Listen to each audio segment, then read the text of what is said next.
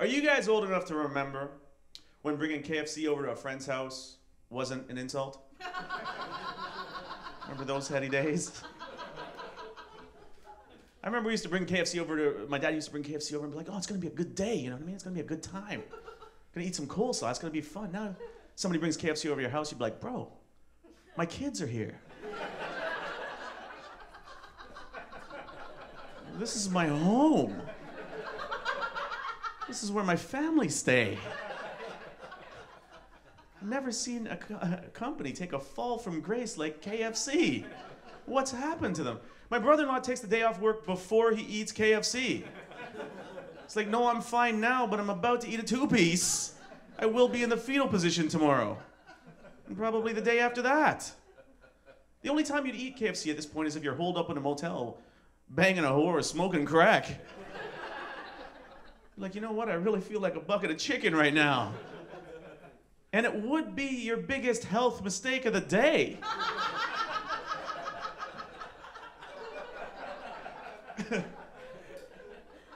People say that the junk food kills you after 20 years. KFC kills you today. It's poisonous right now. KFC has teamed up with Taco Bell to, I guess, murder the world.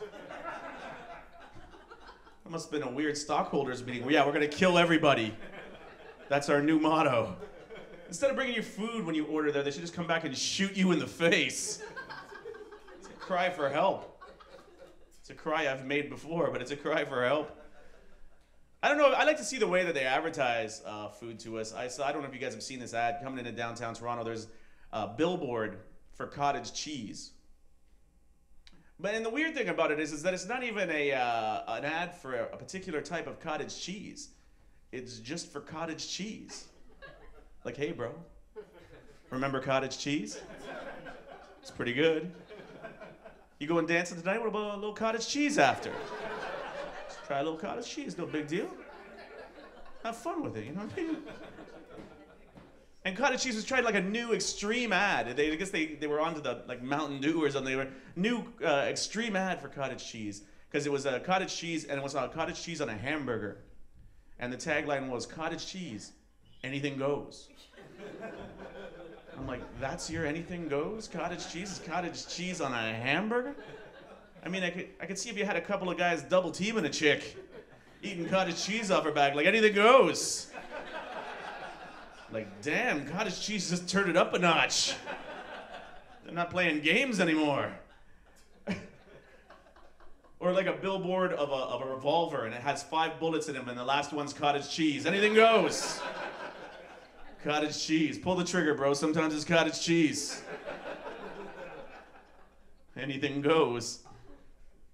Hmm, And I, uh, I, I- find it's uh, weird where the the way they advertise to you. I saw that they were advertised. I was in the drive-through at Wendy's. You guys like Wendy's? Yeah, Wendy's is uh, it's a little bit better than some of the fast food. You don't feel like you're gonna die immediately. You know what I mean? And I was I was in the drive-through, and uh, they feel the need to keep advertising to you even when you're in the drive-through. Because I mean, at this point, I picked Wendy's. I'm blocked in by curbs. I have to take my plates off and run if I don't want Wendy's. But they're still advertising to you, and the ad was, uh, "Try our chicken sandwich, now tastier." I'm like, "Now tastier." You mean to tell me it wasn't as tasty as possible to begin with?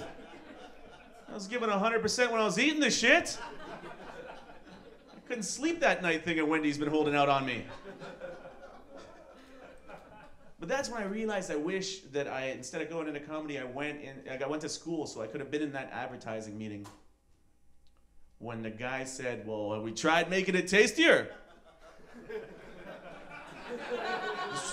You could just wake up drunk in the meeting. Let's just make it tastier. I don't know. I wasn't listening.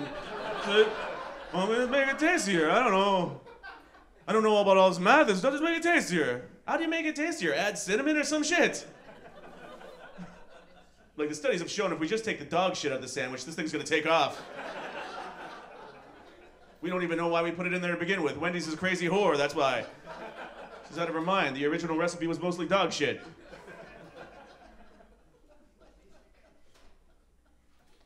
Uh, I, I, I saw an ad. Uh, there's a particular type of pepper sauce. I'm a, I'm a, my mother's Guyanese, uh, and there's a particular type of pepper sauce. I went in to uh, get it, uh, and I could tell it was a Guyanese pepper sauce, but I looked at the label and the label said Rick's. And the way they were selling Rick's is uh, their tagline is that it's uh, known to Guyanese for over 50 years. yeah, I know. It's a really ambiguous way to advertise oneself because I mean, they're not even saying that Guyanese people like the pepper sauce. Just that they're aware of the existence of Rick for the last 50 years. Yeah, Rick, I know Rick, crazy bastard. Sleeps under a bridge, pisses in his pepper sauce. I know Rick. He's still alive, Rick. That's a great way to advertise yourself. Uh, Toronto Maple Leafs, known to play hockey, 100 years. Any good? Well, everyone knows who we are and what we do. I would say we're famous.